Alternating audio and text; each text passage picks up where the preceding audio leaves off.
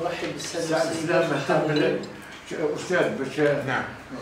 الناس حاسبه الكتاب والشعراء غير في غير في التربية غير في التعليم. السي عبد السلام. يخدم في سونار غاز. تكنيك. شوف يخدم في سونلغاز.